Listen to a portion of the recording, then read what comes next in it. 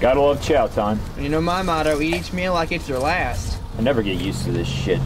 Can't wait to get some good home cooking. Yeah, when's that gonna be? Funny you should ask. Tex here's going home next week. That right, Tex? Damn right. I can't wait. One more week of this shithole, I'm out of this country. Dude, that's awesome. Hell yeah, I spent enough time here. My tour is up. You're a lucky man. Well, I'll be lucky when I get back home. Look what I have waiting for me when I get back. Good looking kids and your wife is hot. Come on, Jersey, lay off the wife comments. Jersey boy just don't get it. Shut up, Carolina. One day I might get married. Until then, I'm playing the field. Hey man, you seen the picture of Jersey's sister? Man, I want to play in her field. Shut the fuck up, Carolina.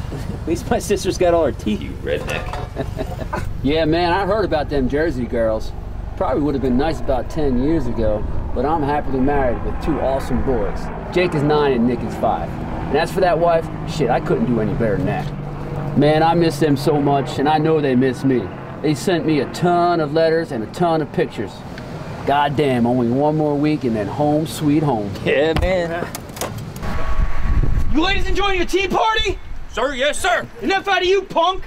Don't get used to all this downtime, sonny boy. You girls pack it up. We need to head 10 clicks due north and get there by sundown. You boys are about to see some serious action. We're moving out!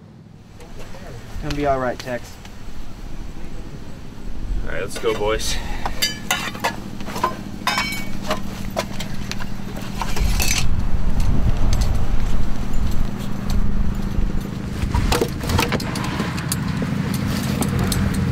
Could you imagine being the bad guy getting shot by that monster? A lot bigger than I expected. Come on, fellas, we got our marching orders.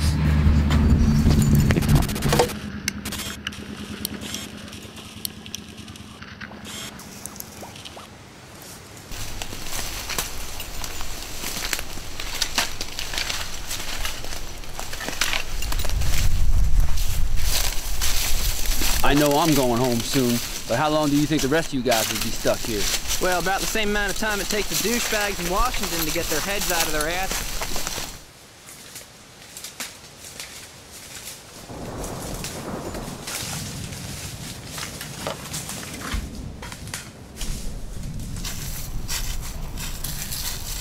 Hey Tex, check out Jersey's ass. Jersey! Hope your little sister can shake her ass better than you can. Shut the fuck up, Needle Dick.